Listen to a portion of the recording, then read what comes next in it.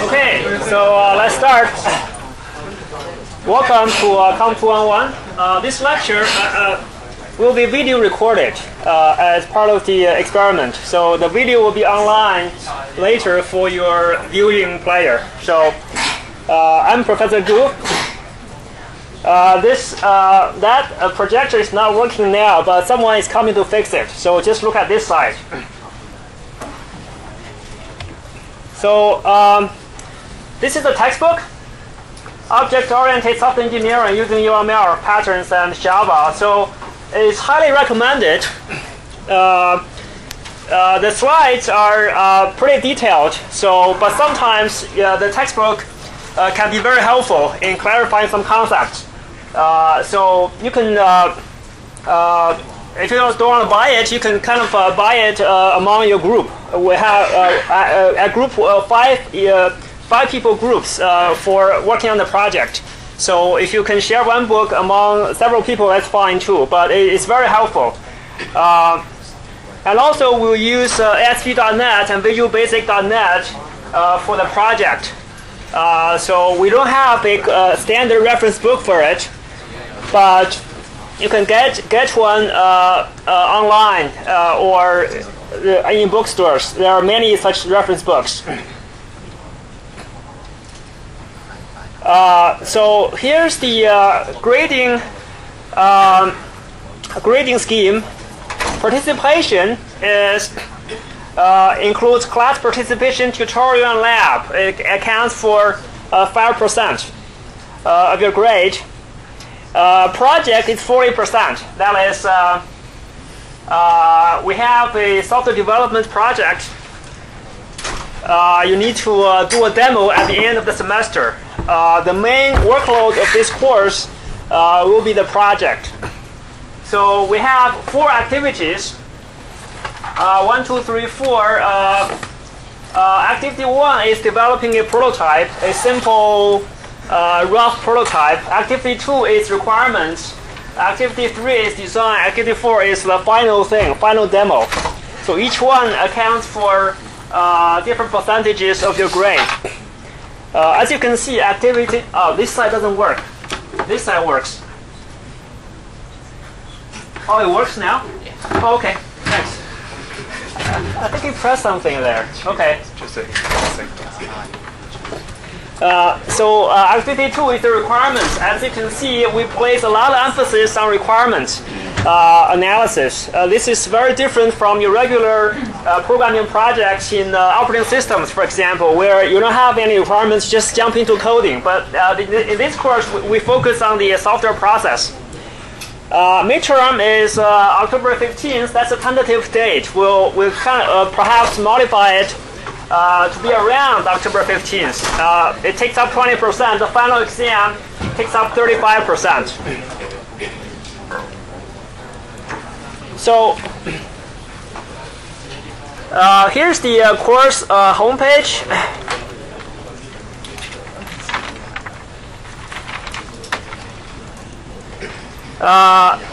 So First, you notice uh, is that I have assigned you to uh, project groups uh, by your last name. Five people per group.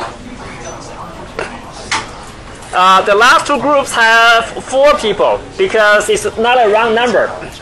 Uh, but you realize that doesn't make too much difference. Uh, having more people doesn't mean that you do less work. Sometimes the coordination among your group members can be a large burden.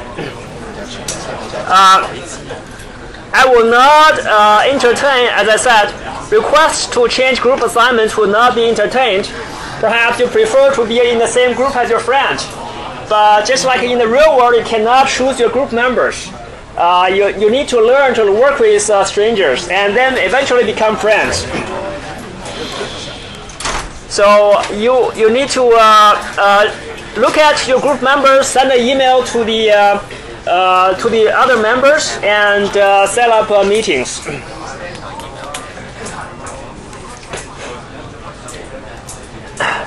So uh, here's the uh, general information. That's me. Uh, we have four TAs. their office numbers and telephone numbers, emails. So contact them if you have any issues.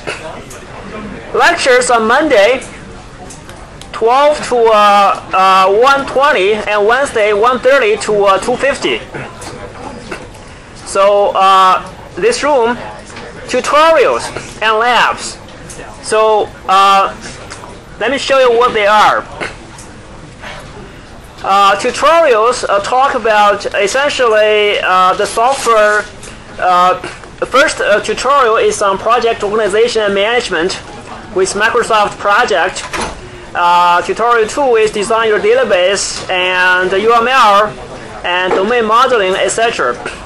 Labs are hands-on labs where you sit at a PC and work with the actual tools you will use for your project. So Microsoft Access, ASP.NET, um, etc. So these are very helpful for your projects. Uh, it is uh, you are required to attend them, but will not count uh, your names. But if you don't attend them, it's your loss. It's really helpful. Uh, so. So uh, we have uh, uh, six, three sections of tutorials and three labs uh, with their times and locations. you should be you should know which which one you signed up for. but since the tutorials and labs are essentially have the same content for all the tutorials and labs, so if you if you want to attend some other section, but that's more convenient for you, that's fine too. Uh, as long as there's a place in the lab, that's fine. These are these times are, are interchangeable essentially. So my office hour is Monday 1:30 to uh, 3, or by appointment. Uh, I have an open door policy, so anytime you can drop by my office and ask questions or send emails. So that's the uh, the course schedule. This is the uh, essentially a rough uh, uh, please stop talking. So, a, a rough uh, schedule. So uh, today is the day that you should start working on activity one. That is implementing the prototype for the project. And um, and uh, September 29th is when activity you should start working on activities two, three, four. Uh, these are available for you to look at now, but you won't be able to, to work on them until you learn about UML and other uh, knowledge in the first uh, weeks of classes. Uh, so, activity 1 is due on October 5th, and October 10th, activity 2 is due. October, uh, November 3rd, December, I think it's I think December 3rd is when activity 3 and 4 are due. That's the uh, also the end of the semester. So notes and uh, uh, so you, you will in this course you will learn as much by doing uh, as uh, by listening. Uh, so First time that you will have to produce the software product rather than simply a program. The difference is the size. Uh, you, you have to learn uh, from the experience with, of working with, in a large group. Uh, the workload will be pretty heavy.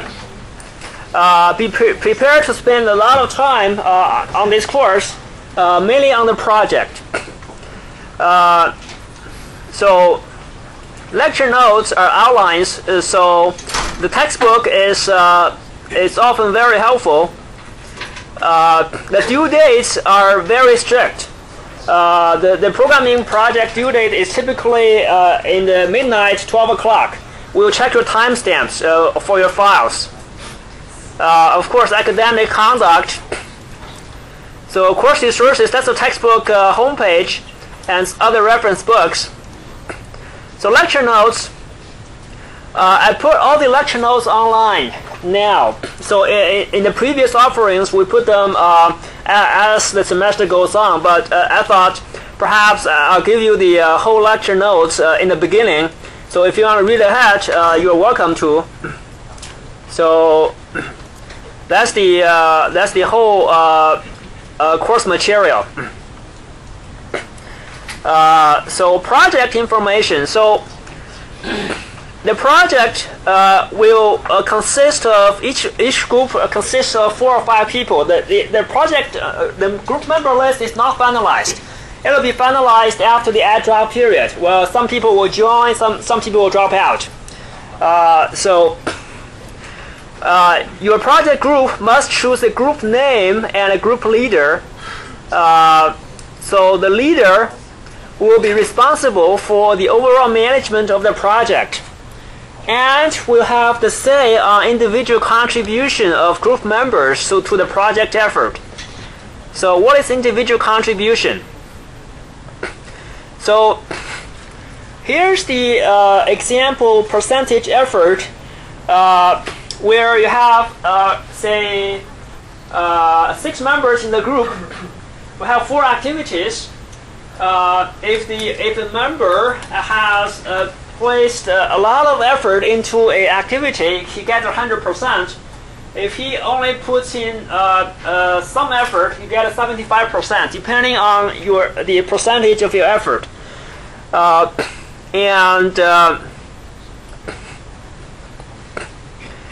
Uh, and then at, the grading of each activity will be multiplied by the uh, effort percentage. That is, if you uh, if a particular member is not performing, that is, uh, he's a freeloader, he doesn't do much, uh, then his uh, uh, grade for the activity will be scaled down. Now you ask, who's to decide the percentage of effort? That's the group leader's responsibility, of course, in discussion with the group members oftentimes we find out that it, there's often a consensus among the group members as to who's the uh, uh, uh not performing. So, uh, uh, on the other hand, the group leader has the final say on the effort percentage. So you, sh you should choose a group leader carefully. Make sure that he or she is fair. so uh, activities uh, so activities do not have to be carried out sequentially. So have one, two, three, four. Actually, uh, two, three, four should be carried out concurrently.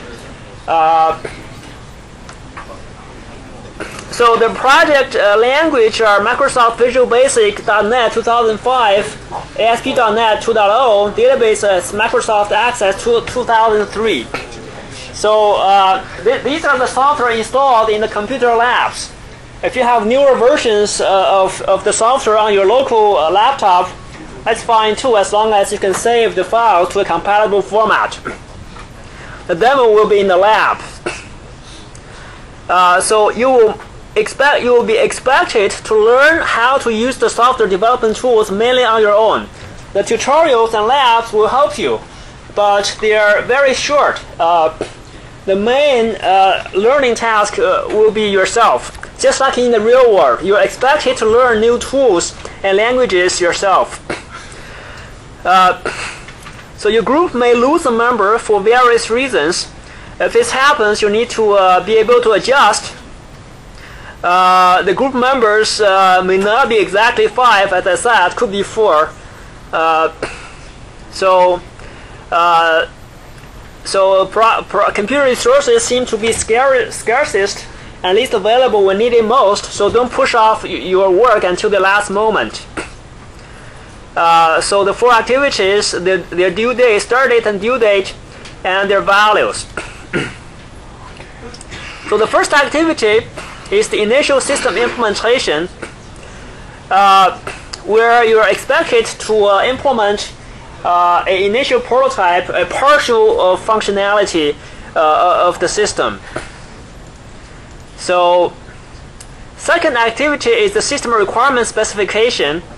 Uh, so it, it says it's assigned on September 29th when the first activity activity is due. But uh, I pull it out now, so if you want, you can work on it early. uh, but you wouldn't be able to work on it until you learn uh, the necessary materials first.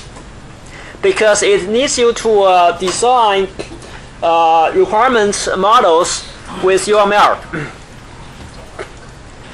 Uh, and activity three is the uh, system analysis and design specification.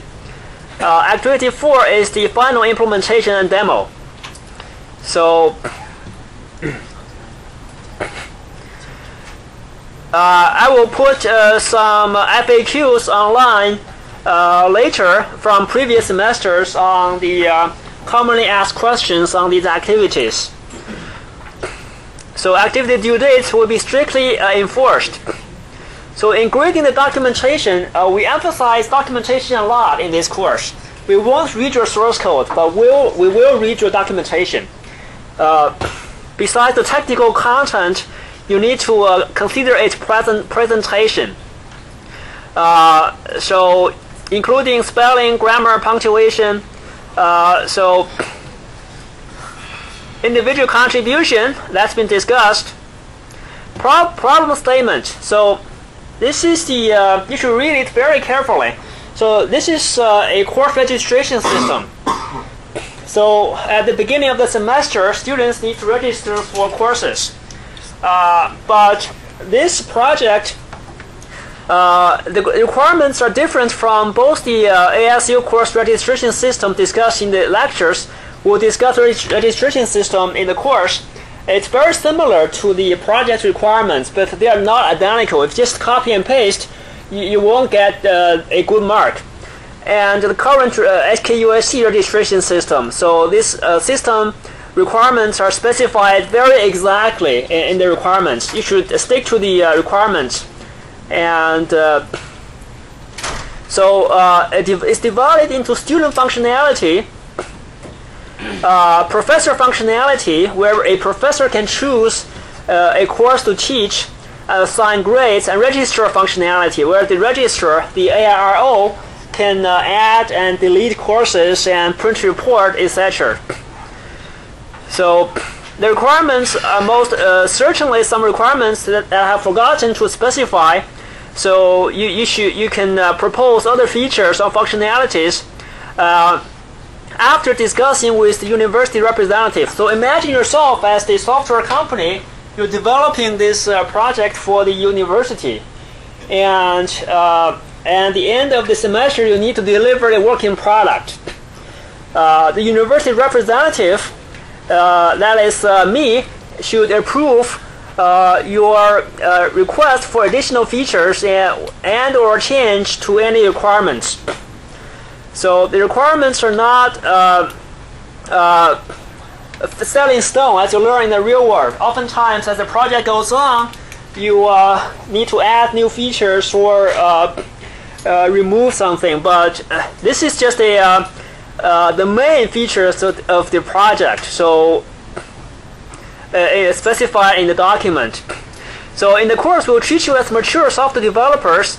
The labs and tutorials will provide you with some basic information on the software tools, but you expect it to take user initiative to learn the details. So, all right, here's the uh, FAQ, activity Q&A. So I got the uh, permissions are set wrong, so these are pretty detailed. Before you send an email to me, you should read these uh, uh, FAQs first. So, uh, grade statistics, I will fill in this table as the semester goes on. You can see the average, median, and uh, how, how you are doing. So project resources. Uh, so uh, you will have a bunch of links on the software tools, Visual Basic and ASP.NET, and Access. So you can start from here. Uh, so in the previous semesters, uh, you were required to turn in uh, time logs and uh, weekly, weekly meeting minutes. Uh, so there have been some complaints as to that this is a formality and not really helpful. So this semester, I eliminated this requirement. Uh, so you, you won't have to turn in any time logs or meeting minutes. But you are you are uh, required to hold weekly meetings, uh, or at least bi-weekly meetings among the uh, group members to check uh, progress and coordinate your your your efforts. Uh, just just like in the real world, the, the software team must uh, collaborate. You shouldn't. you know, only talk at the end of the semester. You should continuously communicate among yourselves. So examples of meeting minutes. So permissions are wrong.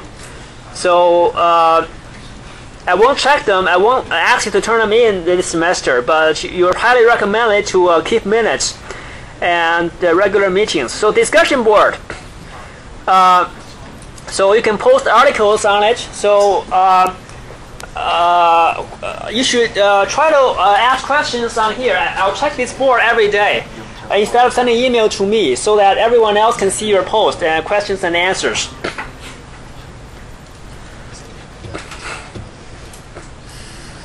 So, uh, okay, any questions so far? Okay, good. So, uh, so here's the uh, uh course overview. So the focus is on long-term, large-scale software development projects. The, uh, uh, the course will provide you with a theoretical and practical foundation in software engineering. Theoretical is the uh, course material, practical is the uh, project.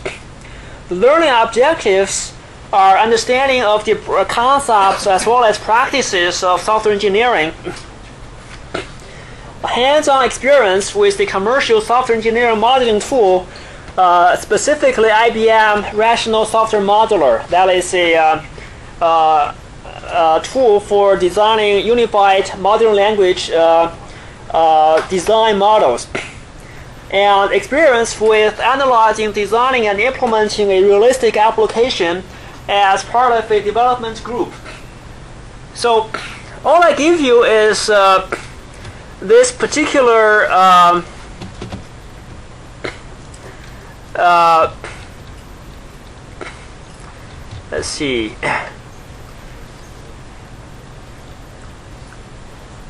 Had a document on the uh, project.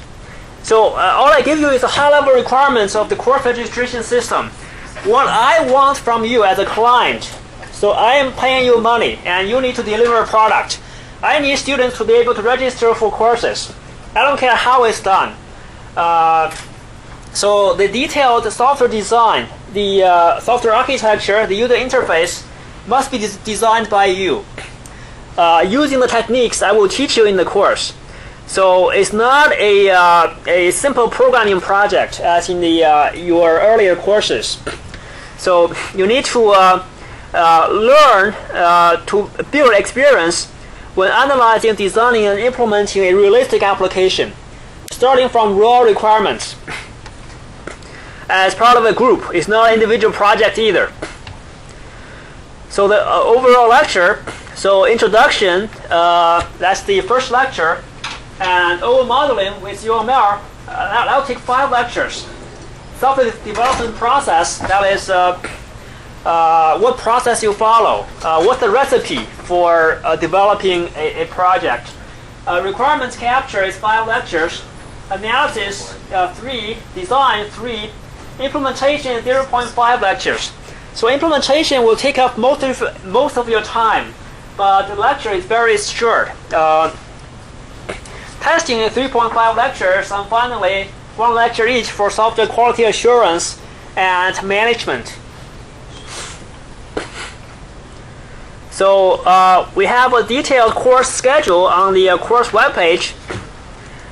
Uh, I think it's uh, it's here. So uh, yeah. So important notes. Uh, learn by listening and doing. So the project is important. Workload is very heavy uh, on average 10 hours per week. That doesn't include lecture time. Uh, this particular project uh, it is already simpler than the previous course projects. That's why I assigned five people per group, while in the previous uh, semesters you had seven people per group. Uh, so don't underestimate the workload. It may look simple to you, but uh, as you go into the programming details, it can take up a lot of your time. Uh, it's a four credit course. So that is the average uh, project hours per week. I think it's a semester in 2000 uh, for spring 08. As you can see, initially you take it easy, right? And uh, near the uh, due date, work hard. Near the very end, work very hard. You don't sleep for a few days. so. Uh, so try to uh, try to uh, you know work hard in the beginning to uh, save you a lot of headache in the end.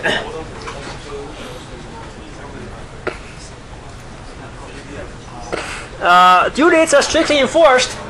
We check the timestamps, so there's no extensions. Uh, labs will teach you how to use software tools and practice design problems.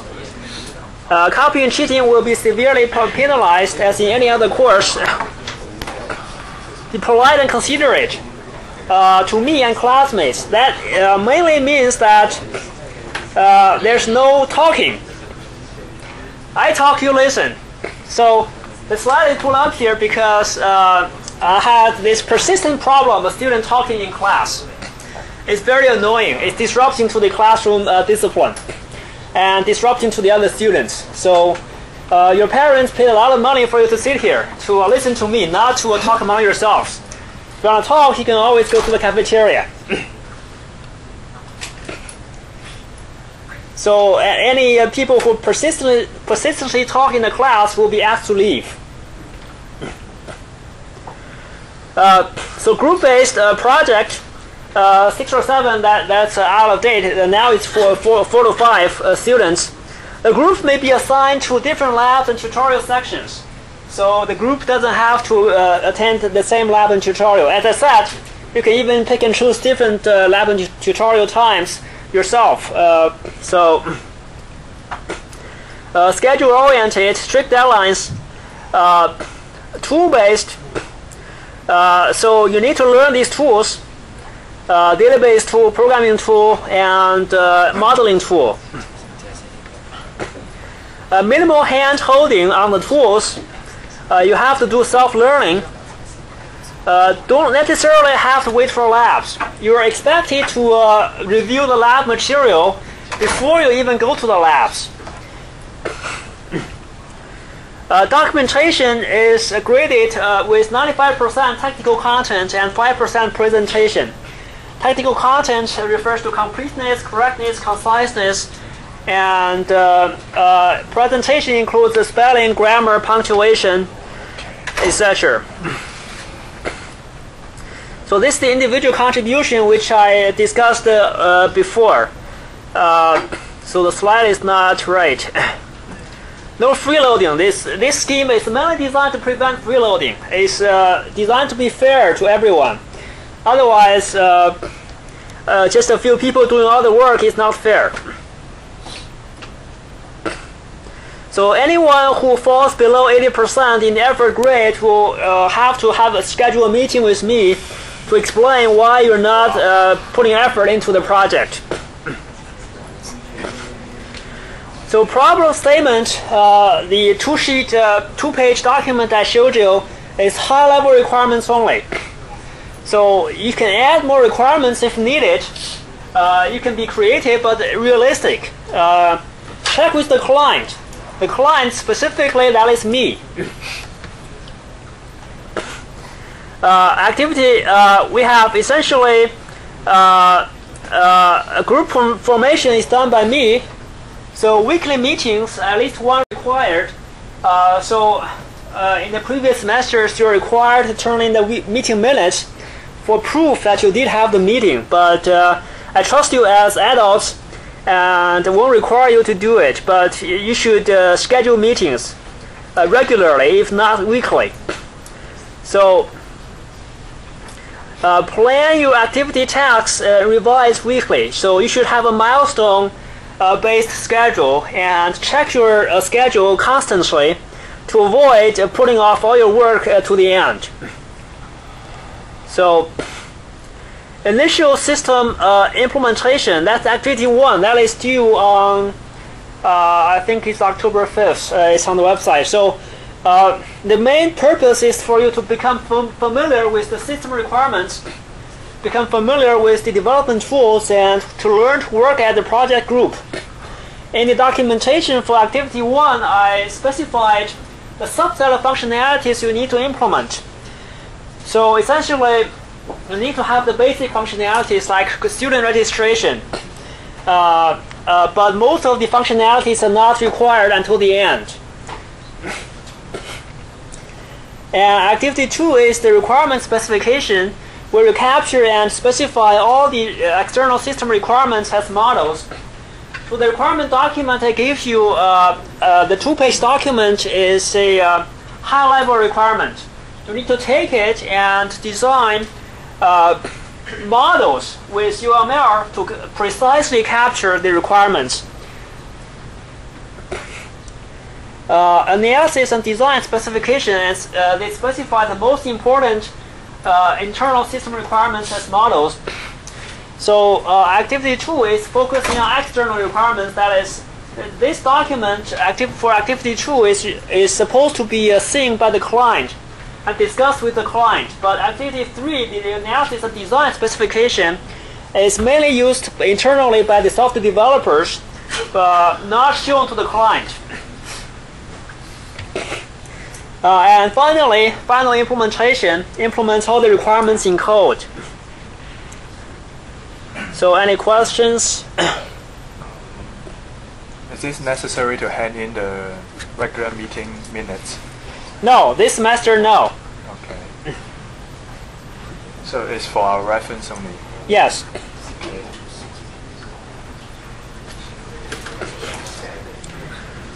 So, uh, okay, so let's jump into the first lecture.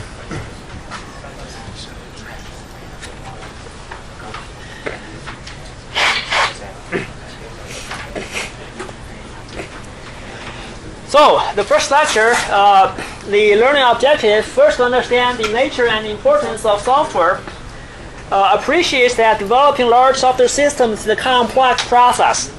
Not just programming is complex, but the whole process is very complex. Uh, know some techniques for dealing with software development complexity, understand what software engineering is and why it is important. So software cathedrals are much the same. First we build them, then we pray. So this is a, from a famous software engineering researcher, Sam Redwine. Uh, essentially, it says software is so unreliable that uh, uh, you pray after you build them to uh, so that they, pray that they work after uh, after you build them. So, what is software? Software is computer programs plus a lot more configuration data. That is how to configure your software. Uh, your software may have a lot of options. Uh, documentation, uh, including system documentation and user documentation. So, for example, in the course registration system, you may have a docu uh, documentation manual for the system maintainer, the IT staff, another documentation manual for the uh, user for the students and, and professors. Uh, of course, this uh, system is so straightforward that there's no really not a need for user manual. But for uh, most other um, uh, systems, you need a manual, a documentation. so there are three types of software: uh, generic, custom, and embedded.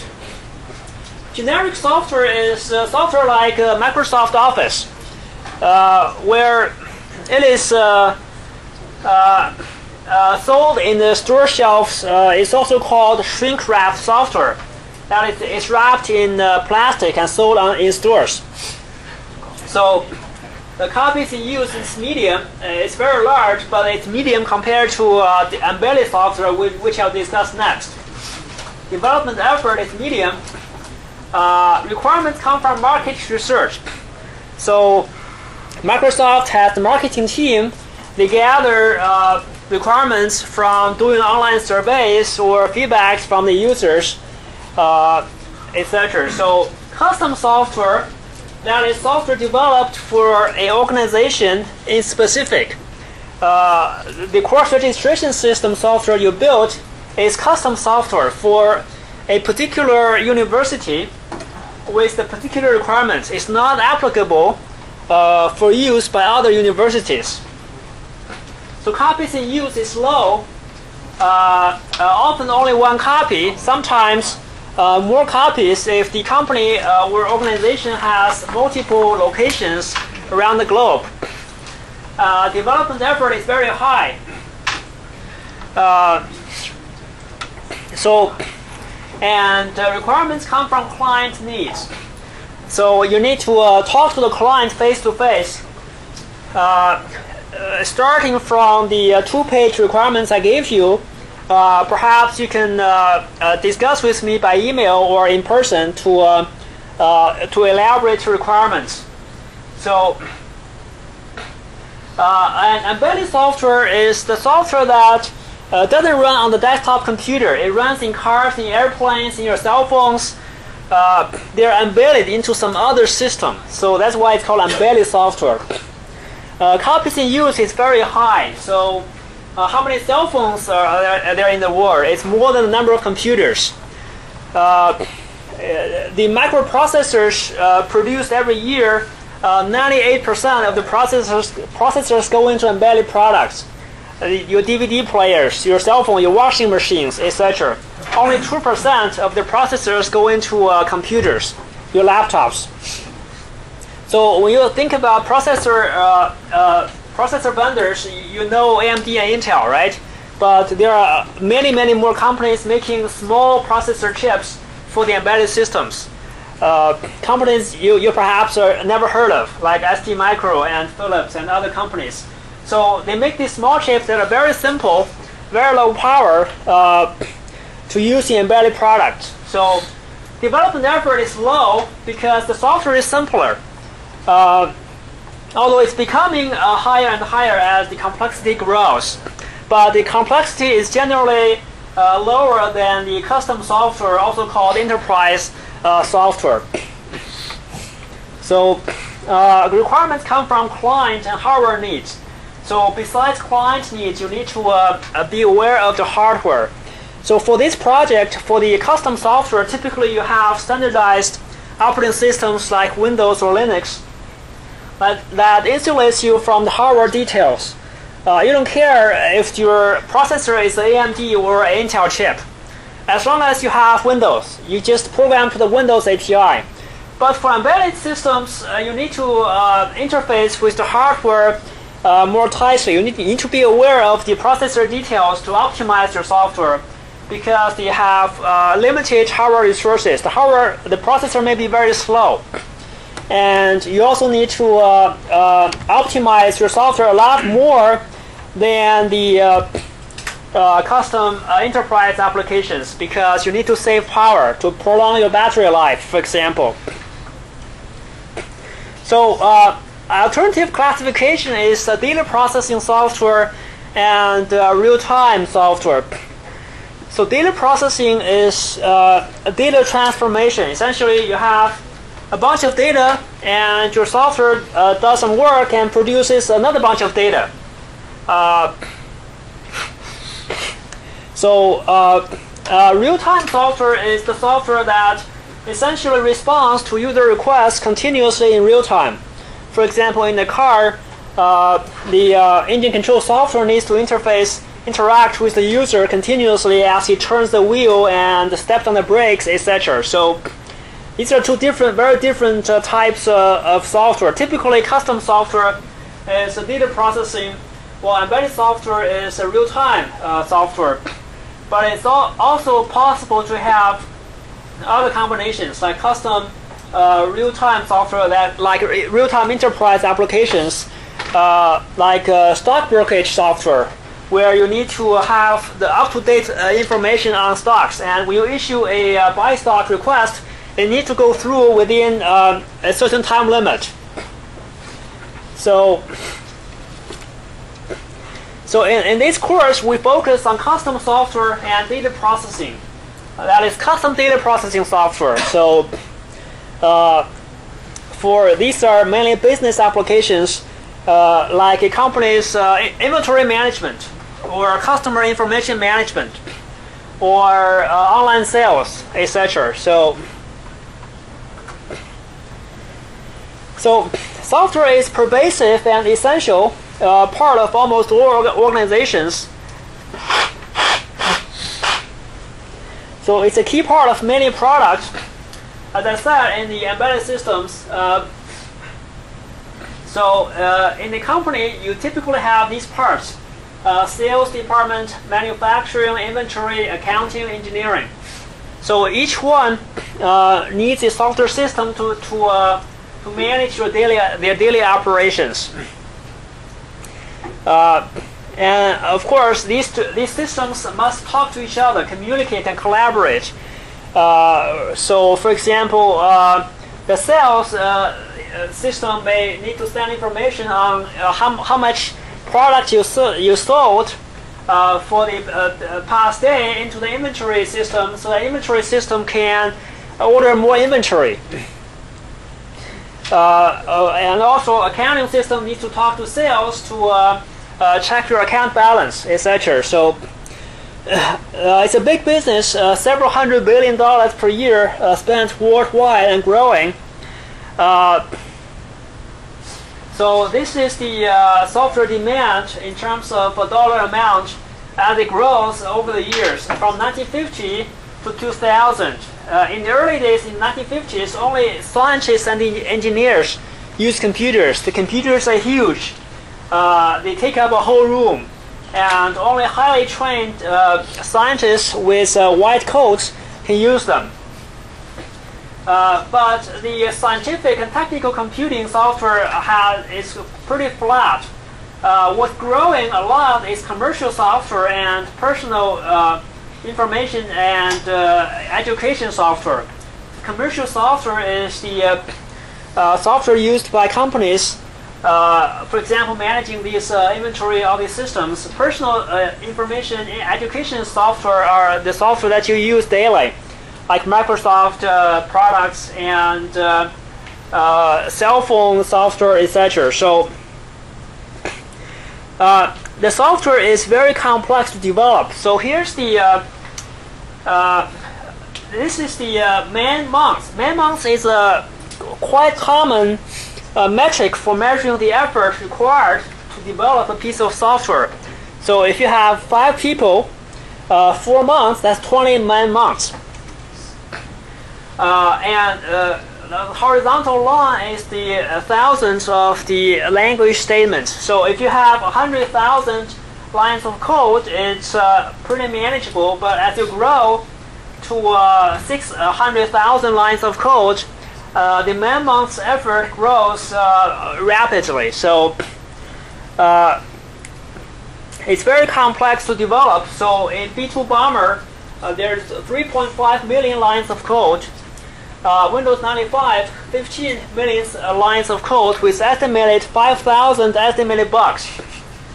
Uh, Windows XP is 40 million lines of code. So uh, if you uh, imagine drawing this, cur uh, this curve up to 40 million, you can see how many man months are required. so where the where does software complexity come from? So uh, first of all, the application domain. The problems are inherently complex.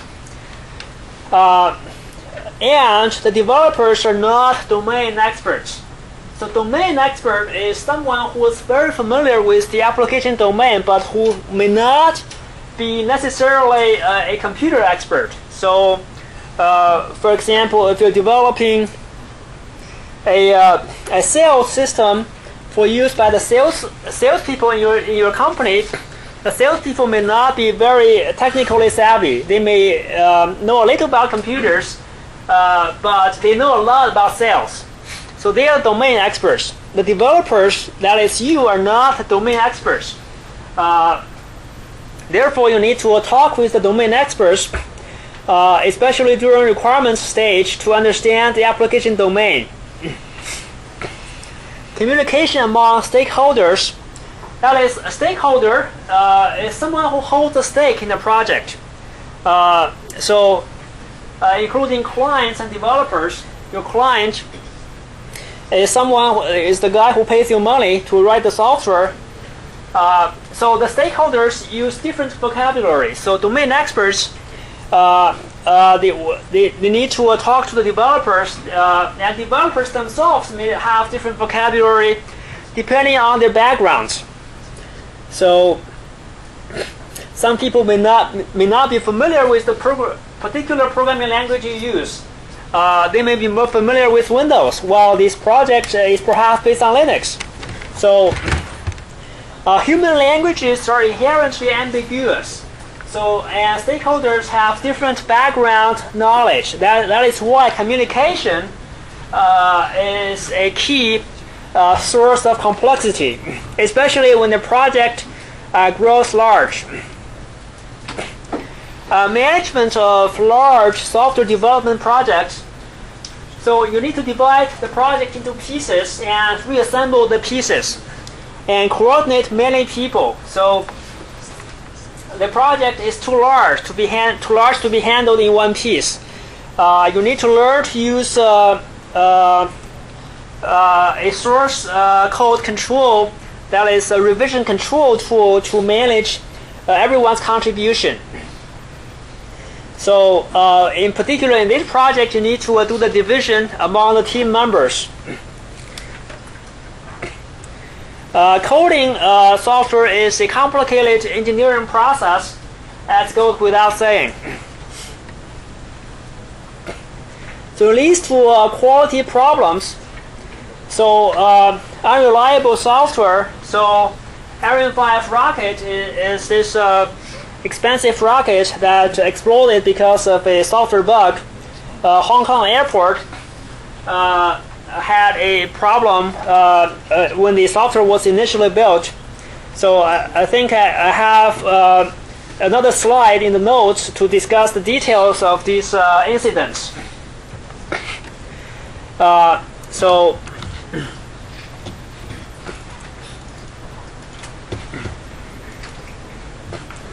so uh, Ariane 5 rocket made its maiden flight, uh, but it failed because a chain of software failures. It's in the textbook section 3.1. London ambulance uh, uh, incident uh, happened because uh, it, it uh, essentially the scheduling system got, had a bug so that the ambulances were not dispatched to the right places. So many people died. Some people died because of the scheduling system uh, the system did not respond uh, uh, promptly as uh, they would have done without this software failure. Uh, Therac-25 is this radiation machine for treating cancer patients. So it turns out a software bug caused massive doses of over-radiation to the patients and caused three deaths of the patients. So the the important root cause was the lack of quality assurance, which led to an over-complex, inadequately, inadequately tested system being developed. London Stock Exchange was a uh, transaction settlement system, so it was cancelled after spending 75 million pounds. Uh, so estimated loss was to 450 million pounds. So even after spending 75 million, they decided to cancel it because developing it further will cost even more money. So these are the uh, uh, incidents. So software can be unreliable, uh, unsafe, or abandoned. Uh, in the London Stock Exchange example, or inflexible, that is hard to change and maintain, because software can live on for many years uh, as time goes on, you need to add new features or fix some bugs. You need to maintain the software. So if the software is well designed, it's easy to uh, change. If it's modular, you can just uh, localize your changes. It's very good. But if it's uh, badly designed, you can have a spaghetti uh, code, and any change will involve the whole system, and that will be uh, very hard to maintain. So uh, project management pro management problems. So project can be often over schedule and over budget by an order of magnitude. Uh, so, uh, so software engineer productivity problems. So, uh, of course, we always uh, uh, you always don't have enough software engineers. It is estimated that the average producti productivity of an engineer per day is perhaps uh, about a dozen lines of code. That includes the debugging time uh, and coding time together. So, so for large projects, 25% are canceled, 50% take longer than planned, and 75% are operational failures. So that's perhaps uh, old data. I'm not sure if it's uh, still correct uh, today. Uh, so this is for large projects. So perhaps operational failures are less common, but uh, uh, but uh, longer than expected uh, schedule uh, uh, change is very common. So software quality problems. so we have we have how to deal with the quality problems. So we need to set goals. There are many quality design goals, including correct, reliable, robust, efficient, all these are desirable quality characteristics, but we cannot hope to achieve them all. It is impossible or unnecessary to uh, achieve all of them simultaneously because of time or cost or conflicting uh, objectives were, or just not important. For example, if you're developing the flight control software for a uh, Boeing aircraft, what's the most important quality uh, goal? It is uh, correct, reliable, and robust, right? Perhaps timely is not that important. So the average time for developing a flight control system, I think, is over 10 years. But that's okay. If it takes 10 years, it takes 10 years. Uh, but for, say, your a mobile game software uh, for a cell phone, perhaps you need to get it out before Christmas uh, to catch the Christmas sales, uh, then timeliness is very important. Perhaps correctness and reliability is less important. Uh, if your software uh, game software crashes occasionally, it doesn't really matter. Unlike the flight control software, so different systems have uh, different objectives. You need to pick and choose uh, most appropriate objectives that is realistic for the time and cost uh, budgets for your particular project. So uh, need to choose the most important qualities uh, based the development uh, around these. Reduces the complexity of designing the system. So instead of uh, trying to do all, you try to focus on a few of the most important ones. So in the in the uh, notes, I had another slide uh, to explain the details on each one of the, these attributes. So you can look at them yourself. So, so whenever you see this uh, lower right corner in the notes, you have this uh, symbol here. It means that in PowerPoint it's a hidden slide. Typically, I won't show them in lecture. So it means that uh, perhaps you won't need to memorize this, uh, this slide uh, as in for the other slide. So it's for your reference only. If you have see this hidden slide symbol here. so, uh, how to deal with project management problems, modular development. So large software systems are complex, so there's a limit to how much a person can understand and in any one time. Therefore, you need modularity. That is divide and conquer. So you have a system, you divide it up into modules, and uh, a module is any piece of software that it makes sense to consider separately, or also called a component. So uh, modules need to interact with each other. So uh, so these lines are the interactions among the modules. For example, in your registration system, perhaps you need to have a UI module, user interface module, a database module, and a web server module. That's the high-level coarse-grained division. You may have more fine-grained division of modules as you design your software. So the inter interface uh, abstracts a module, so the developer does not have to know how the module is implemented.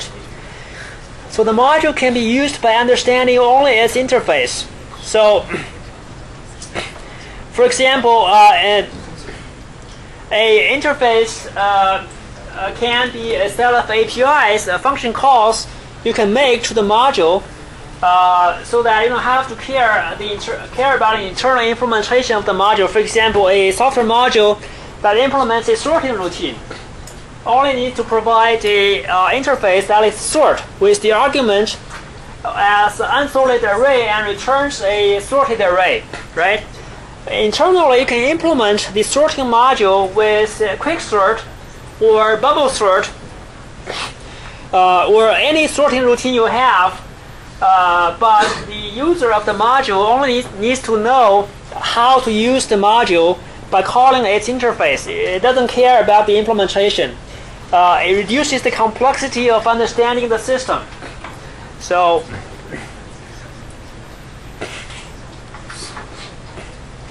so instead of uh, understanding the internal details, say the sorting of modules, the internal implementation, you need to understand only its interface. Uh, so interfaces control how modules interact and control the software complexity. So later you need to uh, you decide to change the sorting uh, to a different algorithm, a faster algorithm. You only need to modify this module. You don't have to change any other modules that call into your module. So interface encapsulates a module so the developer cannot use knowledge about how the module is implemented uh, uh, when it's using when it's using the module. He can only use the interface module can be changed without affecting the rest of the system. Uh, as long as you don't touch the interface, as long as you change the internally, you only change the implementation. So this reduces the complexity of maintaining the system. So the first benefit is reduces the complexity of understanding the system. That is, as a maintainer, you need to first understand how the system works. And then if you change and maintain, update the system, uh, the, the uh, uh, interface also reduces the complexity of maintenance. So abstraction and plus encapsul encapsulation equals information hiding. That's you hide information uh, from the other modules. So in C++, uh, you can uh, declare some attributes uh, or operations uh, as public. That, that is forms which forms your interface which can be seen by other modules. And some attributes and operations that's private uh, that's part of the internal implementation. Uh, you hide this private information from the outside modules so uh, abstraction uh, helps with understanding the software, while encapsulation helps with maintaining the software.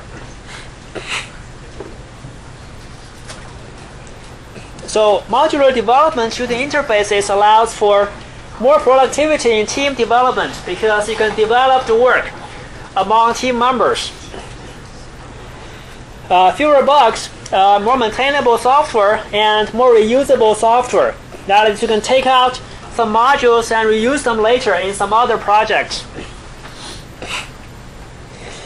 Uh, possibility of module-based, uh, uh, component-based development, essentially these are synonyms. They mean the same thing. So uh, using a suitable software architecture, so when an architecture is, is a skeleton, uh, just like when building a house, you first build the architecture and then you fill in the uh, details. So the architecture is like a high-level skeleton, while the components or modules are the low-level uh, muscles you put into the architecture, the bricks, the building blocks. So uh, the uh, modular development reduces the complexity of cost and time estimates for developing the system. So this is a very important task. Essentially, uh, at the beginning of the project, you need to uh, estimate how much money the project is going to cost and how much time it's going to take. Uh, this is important for uh, your contract with your client as to how much money you want to, you want to charge them, right?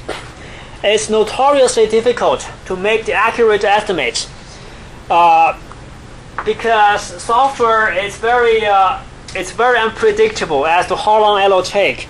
Unlike other projects like building a house, where it's very predictable. If you have uh, such and such requirement, it's easy to estimate. But for software, uh, you often grossly underestimate or overestimate the cost and time. So by having this modular development, you can estimate the time and cost for each module and then add them together. Uh, it makes the uh, cost and time estimates much easier and much more accurate.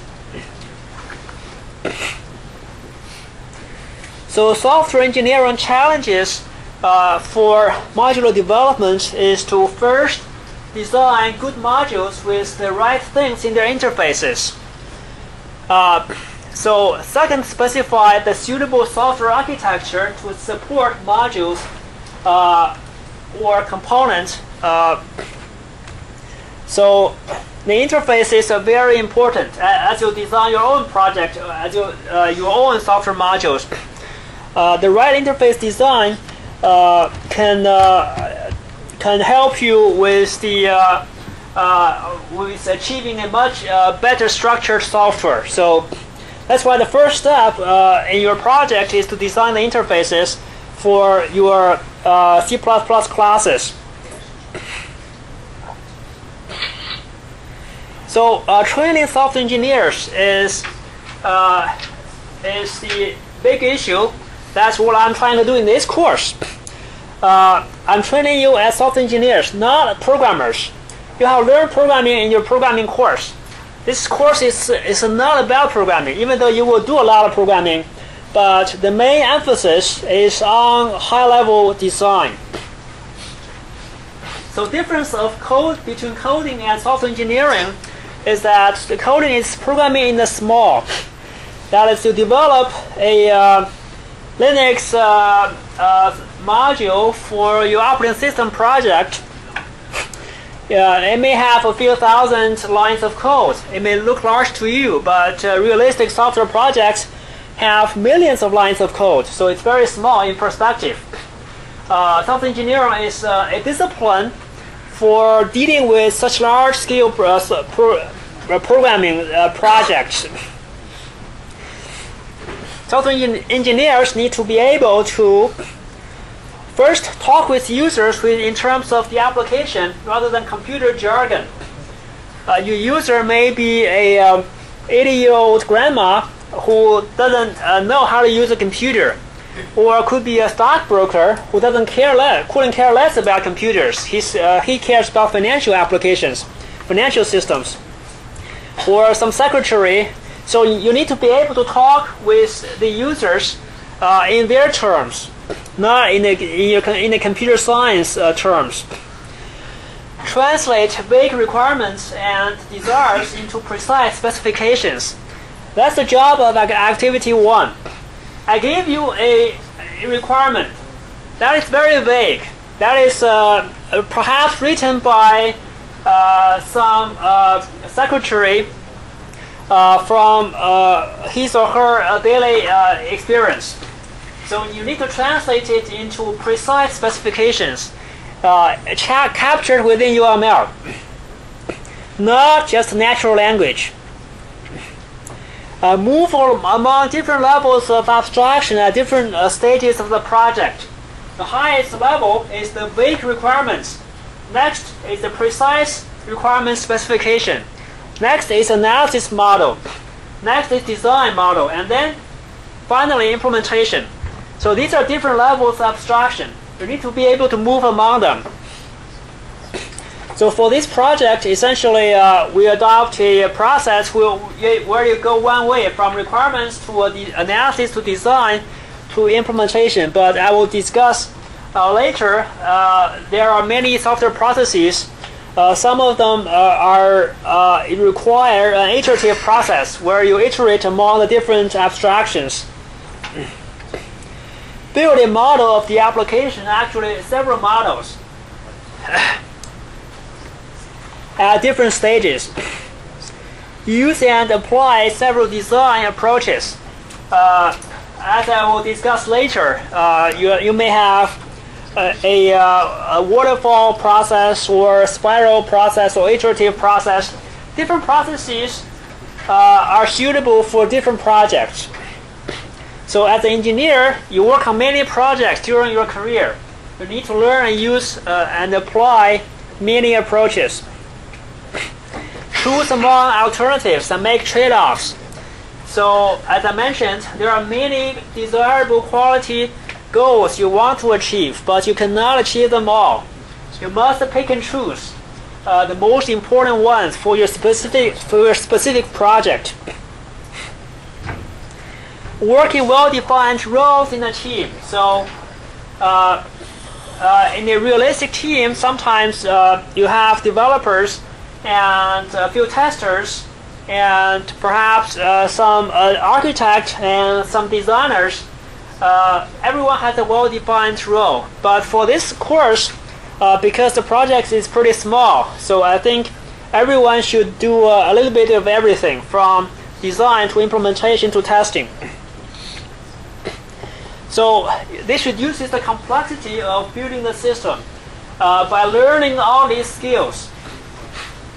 Uh, as you can see, programming is just one of the many skills required uh, for a mature software engineer. So software engineering is establishment and use of sound engineering principles in order to obtain economically uh, software that is reliable and works efficiently on real machines. Uh, eventually, you need to be able to run it uh, on a real machine. And it's a multi-person construction of multi-version software. Multi-person, of course, is a team effort. Multi-version is because you need to uh, uh, come up with uh, new versions uh, every few years to update your software. Think of how many versions Microsoft Office uh, has. So it's engineering dis- uh, engineering principles. It's a disciplined effort. So by engineering is opposed to hacking. Uh, hacking is when you don't have any discipline. You just uh, go in and write code from the beginning. Uh, regrettably, that's the uh, practice for a lot of the software companies, especially the small ones. Uh, but for large software organizations, you need to have discipline. Uh, economically reliable, reliable and efficiently, that is, has built-in quality.